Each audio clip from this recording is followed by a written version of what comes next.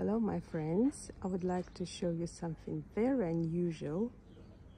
And this rose called bonkers.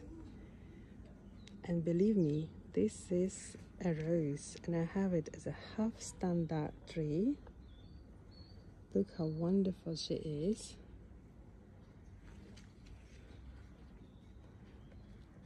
And look how unusual she is doesn't look like rose at all, isn't it? Let me go a bit behind. It's back. Very unusual.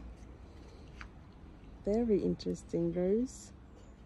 It's not the best spot I'm taking against the sun, but I just want to show you and share how beautiful this rose is and how unusual. And the name is